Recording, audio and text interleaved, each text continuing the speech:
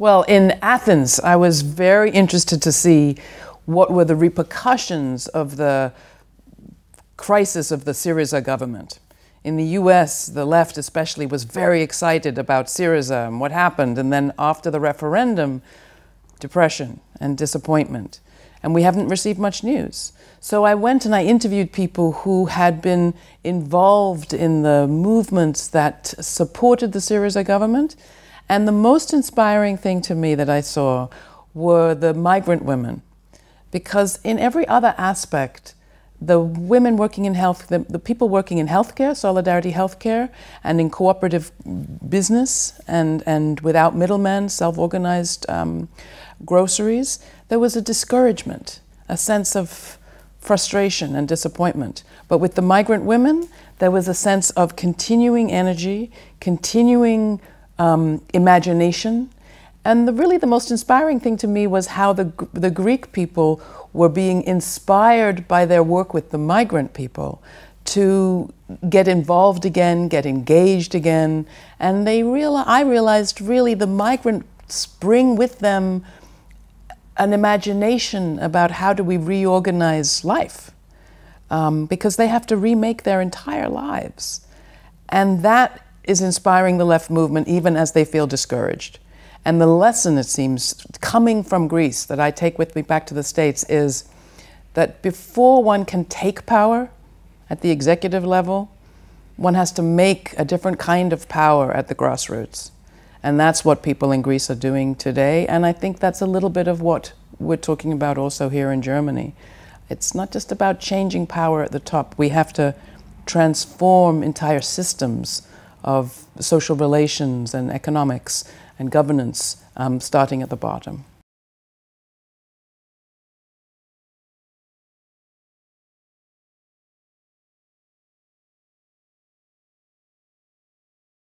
Well, I think it's happening. I mean, in Athens, we saw people organizing communities in such a way as to purchase directly from the producers and bring prices down and use the profits from the local self organized businesses to support community projects, uh, cultural projects, but also political projects.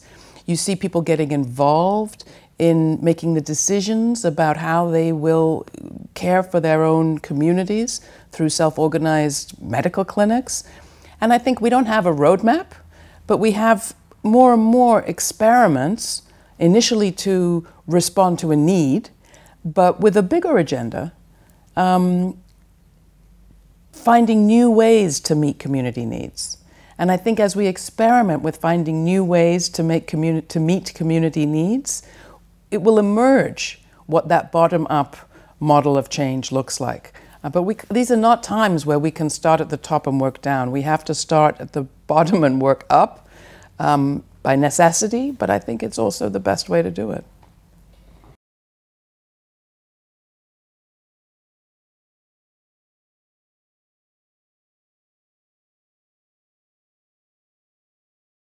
Well, the big protests in the US, I can speak about in the day after the inauguration of Donald Trump, were very exciting to me. Were they perfect? No. But they were exciting because for the first time we saw that women were the first people to express their resistance. The, the, the, the resistance to Donald Trump was led by women. And that is a new order of events. We have always had our left resistance uh, led by other issues and other people, and then adding on women. Women as a kind of addition. This was the front line protest, is a women's protest. And it's a new type of feminism that is saying, we're not an additional concern, we are the frontline concern. I like to say that women are the canaries in society's coal mine. We are the warning system. We are the absorbing, the shock absorbers. And women all across the world have been the shock absorbers, uh, shock absorbers for neoliberalism. We've worked more hours, we've taken more jobs, we've done more home care, we've provided more health care, we've done more raising of children, we've done more caring for the elderly.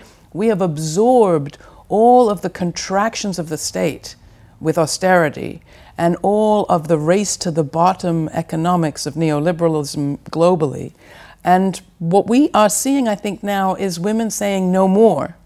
And many of them come from the movements of, again, of, of migrant women, where they have a history of a kind of feminist, um, indigenous, and um, agricultural movements and campesina type feminism, um, but also a feminism that comes from queer politics and that comes from labor politics, where it's not just about our bodies, it's about the role we play in the body of society um, and the role we could be playing in the remaking of society because that's what we do all the time is we make social fabric um, and we have a very frayed social fabric and women need to be in the front of, of making a new one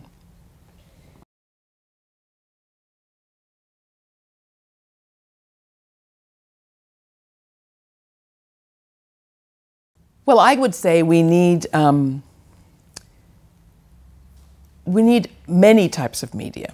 Media is a plural noun, right? Uh, it, it's a it's a plural, and we need pluralism more than ever in a period of authoritarianism. You could look at it a different way and say we have had one version of a story of our lives that has come to us from one sort of media, little different, sometimes this newspaper, that newspaper, this channel, that channel. But in the US in particular, which I know best, you know, it's all essentially the same. It's focused on power in Washington. It's focused on money in Wall Street. It's focused on really the Fortune 500 most powerful men who we perceive as individual players. We need media that tells a different story that tells us about power in communities, that tells us about money in communities, in, in new ways of organizing economics, and that expresses the reality of life that is an interconnected reality where we don't make change as hero individuals, we make change as movements and as groups. And I think that the media that we have right now that is burgeoning on the web is the media that connects different organizations and different ways of thinking. Um, that's what we need. What we have is the big monolith of money media, telling one story, and then we have very niche media that is, again, sort of echoing people's already held beliefs. And I think what we lack is the media that is a place where many different beliefs can meet. Um, and that's the challenge, I think. Uh, we, need, we need pluralism, but we need connection. Uh, so I want to see more television programs where different points of view not fight, but talk in a constructive way. More newspapers that ask real questions, both of politicians and of movements. More self criticism um, in our movement groups but places where they can do that without being seen as in a defeat against um, the opposition. We're good at fighting, we're not very good at talking in a constructive way, and that's what we need, I think.